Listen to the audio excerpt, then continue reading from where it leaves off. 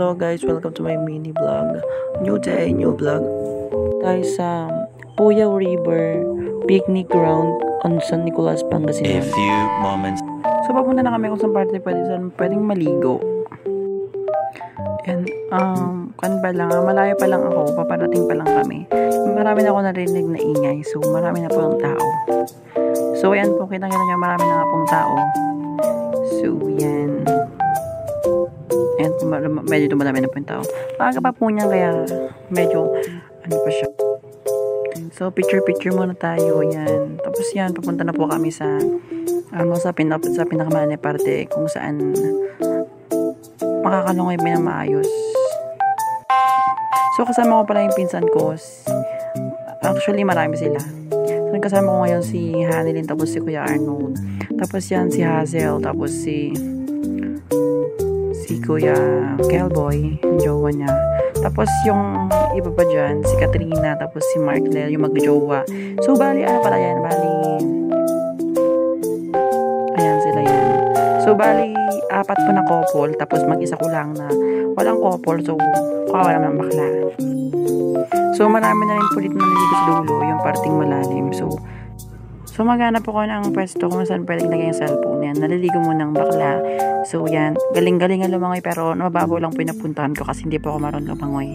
Mahirap na baka marunong ng bakla. Mm, di ba? Hindi pa, serena ako pero hindi ako marunong lumangoy. Di ba? Yan.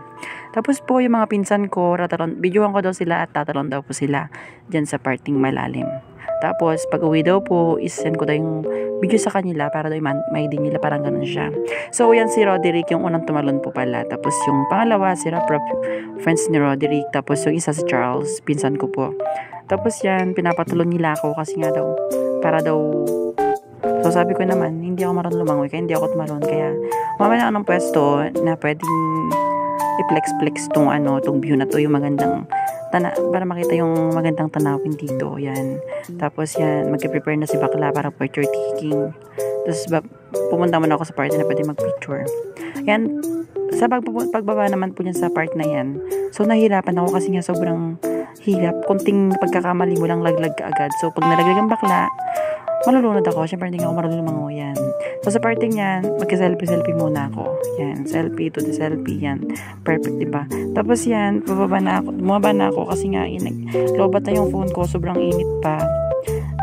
So, sa parting yan, um, napag, nag, nag-decide ako na maliligo na lang.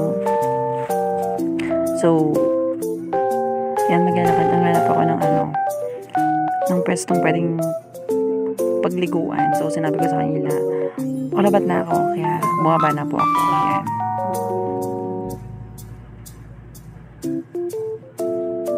So, marami nang paparating na naliligo. Yung mga binata, yung mga estudyante, parang ganun. Marami sila dyan, mga pogi. Mm, bakla ka, ilaban mo, George. Tapos yan, pinasto ko yung cellphone ko, pipesto ko na dyan kasi manonood na ako ng mga naliligo. Basta ako, nakababad na ako, nakaupo na ako dyan. Yan yung mga estudyante sinasabi ko. Akala ko kanina mga tulis kayo. Pala taga dito lang din. Nakita na yun. Nung pauwi na kami, nakita ko sila sunod-sunod po sila estudyante.